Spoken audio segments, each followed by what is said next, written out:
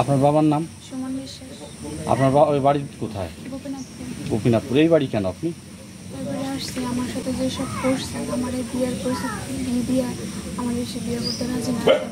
পঞ্চাশ লক্ষ টাকা চাই। কে? চাইয়ের পরিবার সে।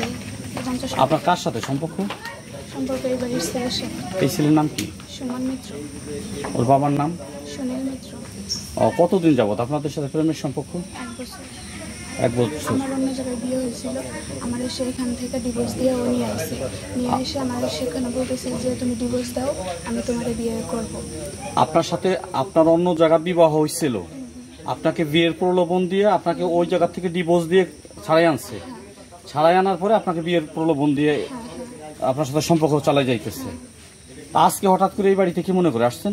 আজকে ওকে বলছি যে তুমি তোমার বাসায় বলো ওর বাসায় বলছে বাসায় বলার পরে ওই বলে মা বলছে যদি পঞ্চাশ লক্ষ টাকা মেয়ের বাড়ি থেকে দেয় তাহলে বিয়ে করবি আর নাহলে করবি না।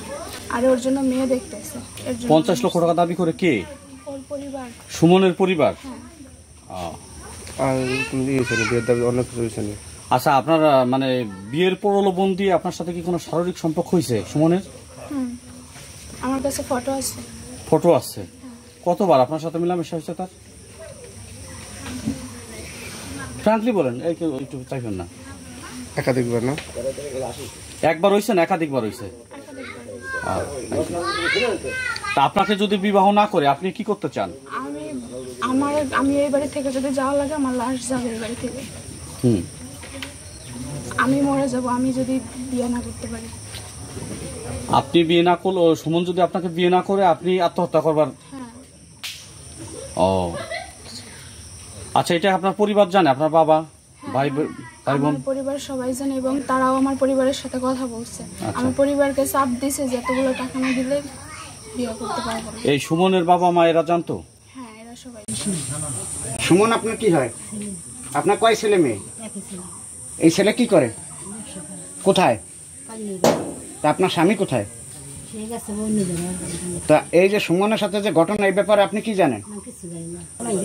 হ্যাঁ।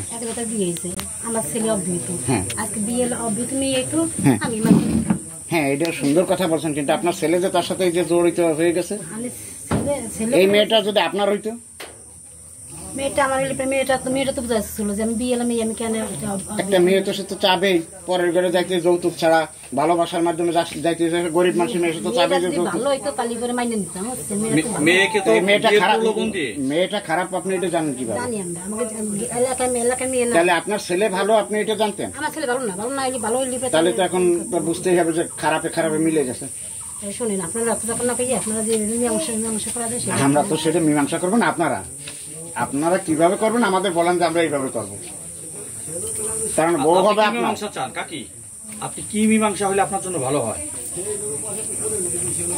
আমি তো বলছি যে মেয়েটা আপনারা নিয়ে যান। শেষে মীমাংসা যা করতে মেয়েরা তো আমাদের না বাবা। মেয়েরা তো যাদের মেয়ে হোক তারা এসে নিয়ে যাক। শেষে আমরা যেভাবে হোক। ছেলে যদি বিয়ের মত হয় না ছেলে তো মত হবে না। আপনার ছেলে এই মেয়েকে বিয়ের প্রলোভন দিয়ে অন্য জায়গায় বিয়ে হয়েছিল সেখান থেকে ডিভোর্স দেওয়া আইছে না না এই কথা হবে না এই বিপদ দিয়ে নাই। এই শোনেন মোবাইলে আজকাল যে ইসে অনেক কিছু করে তোলা যায় বুঝছেন? জি। হ্যাঁ। আপনি আগে সাংবাদিক এসে বলছেন যে আপনি পঞ্চাশ লক্ষ টাকা দিলে আপনি মেনে নেবেন। না আমি মেনে থাকি না আমি কিন্তু মেয়েতে বলছে রাত্রে সকালবেলা আমি মেয়ের বাবা তো একজন গ্রাম পুলিশ তার কি পঞ্চাশ লক্ষ টাকা দেওয়ার মতো বা যৌতুক দেওয়ার মতো কোনো অ্যাবিলিটি আছে? হ্যাঁ, যৌতুক তো কোনো আইন সিদ্ধ কোনো ব্যাপার না। আপনি দাবি করতে পারেন। বলছে এখানে সবাই ছিল আমার না, না, নিয়েছে আপনার এখন তো যৌতুক আপনি পাবেন না কিন্তু মেয়েটাকে তো বিয়ে মানে বউ হিসেবে নিতে হবে। আপনি কি করবেন? মেনে নিতে তাহলে কীভাবে আপনি সমাধান দিবেন? না না আমরা কীভাবে করব? আপনি বলেন যে আমি এই জলি পরে আপনি আপনার বাড়ি আসলে আপনি মাছ দেখাবেন না ডাল দেখাবেন না আপনার ব্যাপার। মাত্র রাত্রে